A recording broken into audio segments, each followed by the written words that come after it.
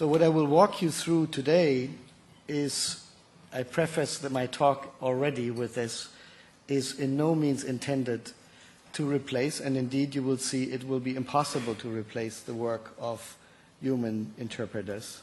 It's an incredible ability, and so what I will be talking to you about is technologies that can be applied for the rest of us. We have to remember the dream in Europe and indeed in the world is for all of us to communicate and understand each other regardless of the language. In most situations, we cannot possibly go through the effort and the expense that we can afford in the European Parliament. Now, with this, let me begin my talk. It is, of course, well understood in this crowd that we are living in a global village. We do work together, and increasingly the world is globalizing. We um, practice exchange and communication, and uh, in Europe in particular, it is a mandate for all of Europe to integrate, uh, regardless of language uh, uh, separation. Now, on one side, those, there might be some who might argue we should just all speak the same language, but at the same time, there's an opposing trend that insists on the cult- cultural diversity, on the beauty, identity, language, culture, and custom of each language and each country.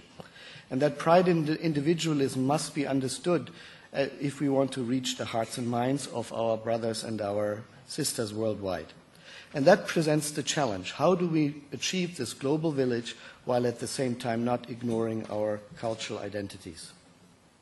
Now, no other place in the world understands us as well as Europe, with 24 languages by last count, uh, plus many dialects. It is, of course, a daunting challenge to do this and to achieve this type of integration. Currently, it's done by human translation, and or it's not done at all. Most of the conferences I attend are all in broken English. Now, if you look at how well people speak English in Europe, you know, for those of you who believe that switching to English is the solution, I invite you to look at this slide where you see that across the different countries in Europe, only an average about 30 to 40 percent of people speak English well enough that they could conduct business with each other. So we have to dismiss this as a solution, and uh, indeed, it's probably not desirable to do that anyway. Now, what else can we do? Now, of course, there's human interpretation and translation. There's currently about uh, 500,000 translators worldwide. 150,000 of them work in Europe. These are numbers you might correct me with, but this is our research. It's already about a $31 billion market, and the EU is one of the largest, uh, spending 1.3 billion euro on translation and interpretation. Around the world, as impressive as it is with 24 languages, it pales with the challenge worldwide. There are 6,000 languages roughly in the world, and if you wanted to have everyone translated to everyone in the planet, you would have to provide 36 million translation directions. Indeed, that's impossible. So thus, it is only a small fraction of what could be translated that is actually being translated or interpreted. And this is just text. For speech, of course, it is, the situation is worse. There are about 300,000 conferences per year in Europe. Um, 1% or less are interpreted, actually, by human interpreter. On YouTube, every minute, 13 hours of new videos come online. We have television that reaches every satellite television that reaches every part of the world. Lectures, governments, universities, corporations all produce speech in a constant uh, constant pace. And meetings, telephone conversations, travel, dialogue, and encounters all are events where we speak with each other, and indeed we can't usually do it by in each other's languages.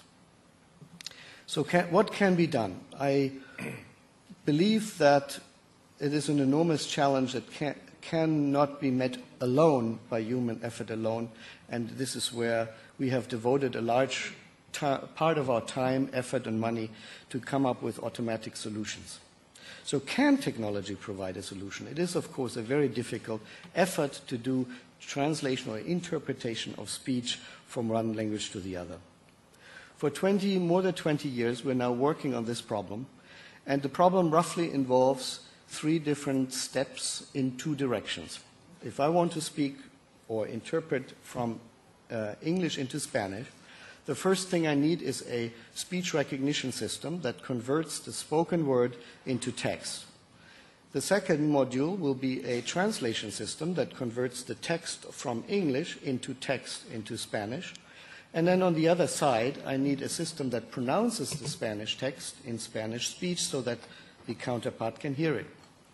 When that other person wants to respond, once again, we need Spanish speech recognition, translation from Spanish into English, and text to speech synthesis in English.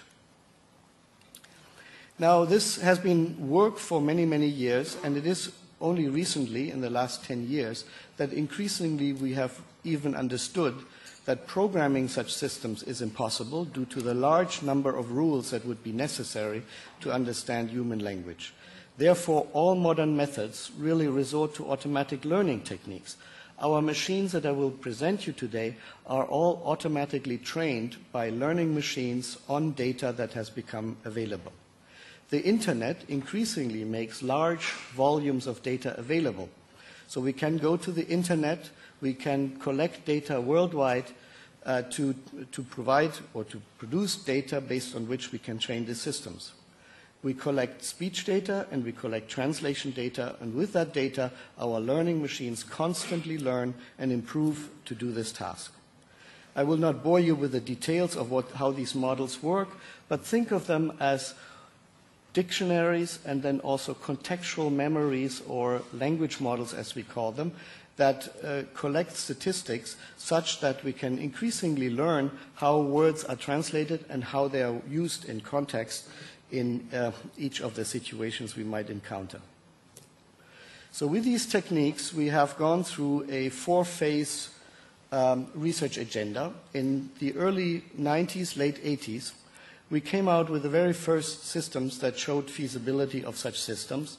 Our early system, Janus, was the first in Europe, uh, where you could speak a sentence from 200 possible sentences. It would take five minutes to do this, and finally you would get a sentence on the other side, but you would have to make sure that your sentence was syntactically correct and was limited to 100 or 200 word vocabulary. Clearly not very practical.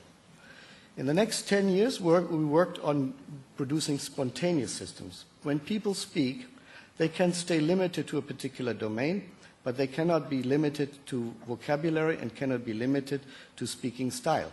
We constantly hesitate and interrupt ourselves. We go uh and mm and and produce all kinds of hesitations. All of these must be handled. Luckily, out of this emerged two directions which we now finally are in a position to apply in the real world. One is mobile consecutive interpretation devices that are mobile and therefore can be carried along. These are important for travelers, for humanitarian missions, for uh, healthcare providers, for police and military, for various parts of the government where people are in a mobile situation and have to go out into the field. The second that I will also present you is simultaneous interpretation in a more stationary environment. Think uh, broadcast news or um, university lectures or um, government speeches and so on.